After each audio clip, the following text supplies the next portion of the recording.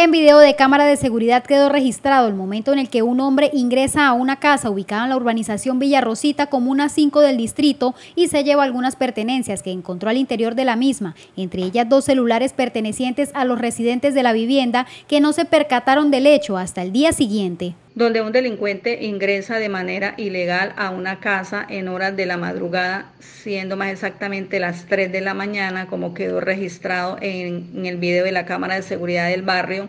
El hombre viste una camiseta a rayas negras, gorra y bermuda negra. Se ubica inicialmente en la puerta principal e intenta entrar, mete la mano por una de las ventanas y como ve que no puede, luego se dirige hacia el callejón posterior donde está el patio. Salta a la pared e ingresa, forcejea la puerta e ingresa, procede a mirar qué se puede llevar. El tipo se lleva dos bolsos donde lleva dos celulares. Uno de ellos se encontraba cargando en ese momento ropa, zapatos y otros elementos que logra guardar y emprende la huida.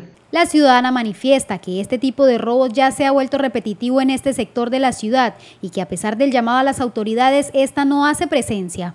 Lo más preocupante de toda esta situación es que muchas veces se llama al cuadrante y no llegan a atender el llamado. No, o sea, no lo podemos controlar solo porque la verdad son muchos casos repetitivos que se han presentado acá en el barrio y la verdad sí necesitamos que las autoridades le pongan atención a este tema. La comunidad de este sector pide más apoyo de las autoridades para que hechos como este no se sigan presentando, ya que a pesar de las cámaras y alarmas comunitarias que la misma comunidad logró instalar por sus medios, no son suficientes para contrarrestar a los delincuentes.